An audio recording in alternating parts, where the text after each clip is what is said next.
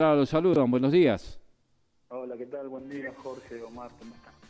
Bueno, Víctor, atento a, esta situación que se vive en, la, en, el país, no ya solamente en la provincia de San Juan, con la situación económica, el tema inflacionario. Eh, ¿Cómo está marchando eh, el, el tema? ¿Cuál es la situación real hoy en la provincia de los inquilinos? Mira, tomo aire, tomo aire antes de responderte, pero si te puedo decir en una sola, en una sola palabra sería extrema. La verdad que la situación de los inquilinos hoy es muy compleja. Vemos que no hay mucha intención a veces por parte del, de los gobiernos de, empezar a, transitar una mejoría en, eh, en la habitabilidad de la gente y bueno, en ese ese trazado que venimos viendo constantemente, tratamos de, nosotros desde las asociaciones de inquilinos, de, intentar por lo menos plantear mejor, mejorías para el sector, porque la verdad que la queja es abundante, constante y ya no hay margen para que el inquilino pueda seguir pagando lo que viene pagando. Y como si fuera poco, no se ponen de acuerdo con la modificación de la ley de alquileres a nivel nacional.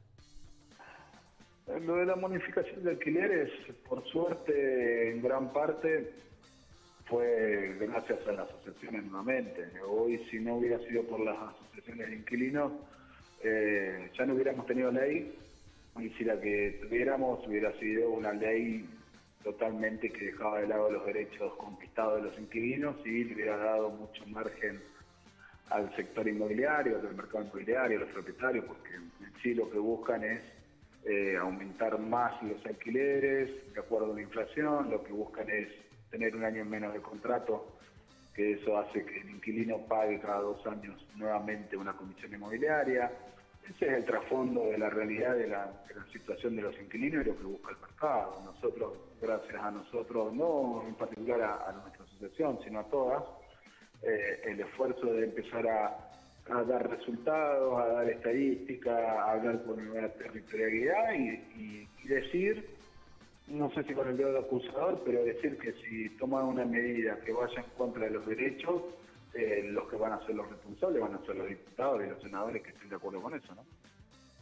Víctor, ¿cómo han tomado esta decisión, esta, esta renuncia del secretario de Comercio de la Nación, Carlos Feletti, con quien habían entablado, un buen diálogo, habían eh, logrado ser escuchados, habían, eh, se habían reunido precisamente eh, con él, pero bueno, dejó la, cartera. Feletti y el que viene ahora lo tiene muy complicado. estamos hablando de situaciones de mercado.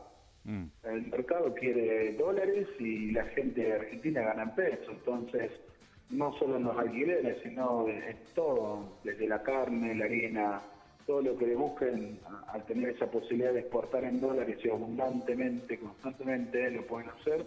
Y bueno, eso lo trasladan al precio de, a Argentina y, la verdad que eso hace que, nosotros se lo vemos mucho más dinero. Entonces, esté Feletti o esté la persona que venga, si no toma una determinación importante de no trasladar ese precio al mercado interno, eh, esto se va a desmedrar aún más. en, el, país de la carne eh, pagábamos fortuna un kilo de milanesa y bueno, eh, yo creo que eso complica más la situación, no solo el alquiler, también el alquiler porque es una necesidad básica y esencial, pero Feletti lamentablemente no, no fue acompañado en su intención y el que venga, creo que si no lo acompañan va a pasar por la misma situación. Hoy controlar los precios es casi más que imposible si no se toman desde el fondo. Eh, mm, ¿Cuáles son las expectativas con el, con el que viene? Digo, mirando un poco la, desde el lado político, ¿no? las decisiones que se toman a nivel nacional, porque si uno analiza, Feletti, digamos que un poco del, del, riñón de, Cristina Kirchner, eh, ahora eh, el nuevo eh, secretario de Comercio de la Nación, Guillermo Hahn, responde más hacia el sector de, Martín Guzmán. ¿qué, ¿Qué avisoran eh, en esa relación con los inquilinos fundamentalmente? Eh, yo creo que, mira, eh, hoy en la política no debería haber matices. Sí. Más que nada en este sentido. Totalmente. Si vos tenés matices, si vos tenés matices no puedes quedar bien con Dios y con el diablo. O estar en la popular o estar en la platea. Mm. hoy tenés que tomar medidas de fondo. De, Totalmente. Es, lo que sucede, digamos, no, no te pueden trasladar los precios a, un, a un ingreso de un asalariado que gana en pesos y la verdad que no tiene de dónde sacar más, por lo menos para pagar el alquiler. Eh, si no tomas una medida en control, por ejemplo, si, realmente eh, lo que están alquilando eh, es el valor real o está dolarizado. Hay que trabajar sobre la dolarización de los inmuebles y más que nada trabajar sobre la inflación. Porque hoy, por más que tenga ley de alquileres, esté esta, esté la nueva, esté la vieja, si vos no controlas la inflación, eh, por más que tengas ley, no, no va a servir de mucho.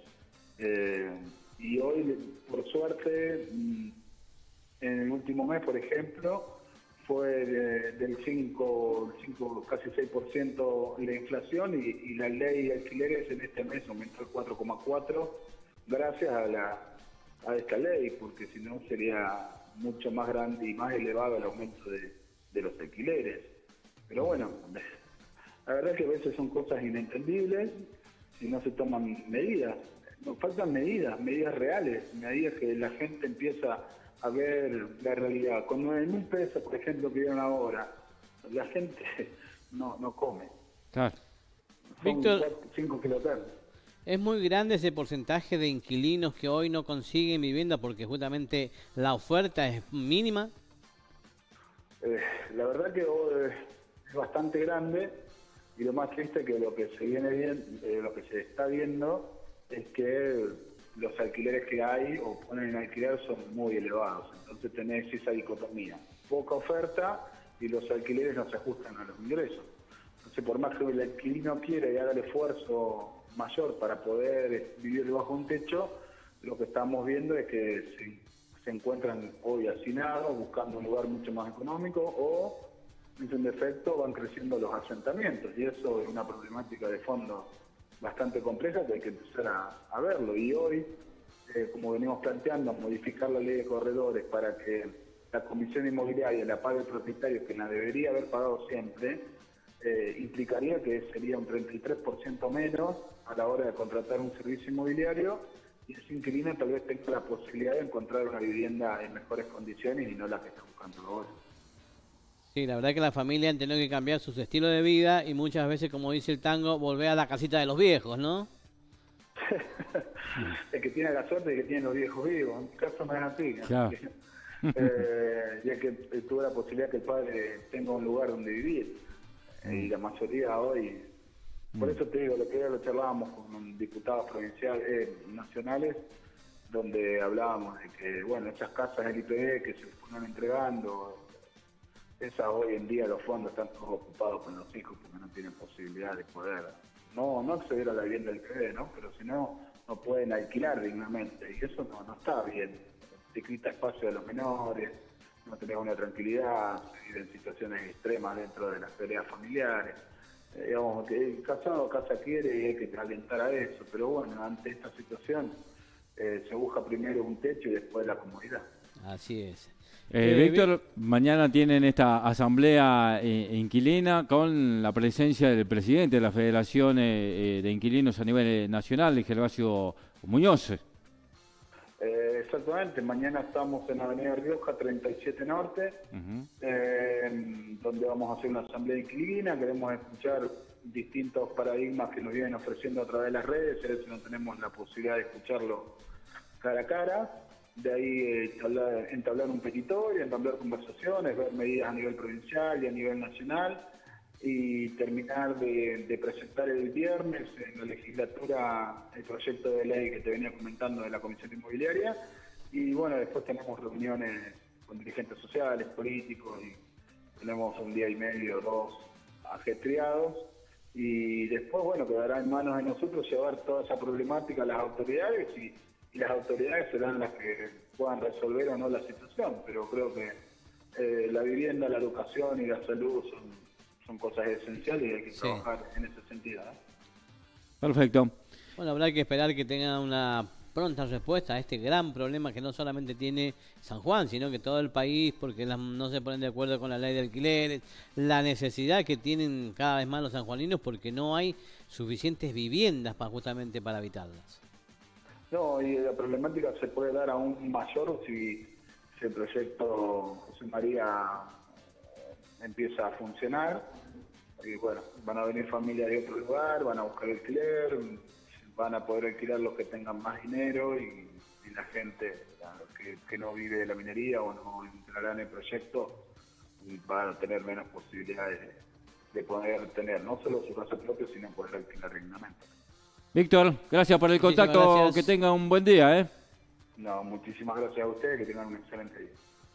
Víctor Bazán de la Asociación de Inquilinos eh, de la provincia de San Juan. Sí, la verdad que hoy el problema de, de los alquileres es muy complicado, no existen tantas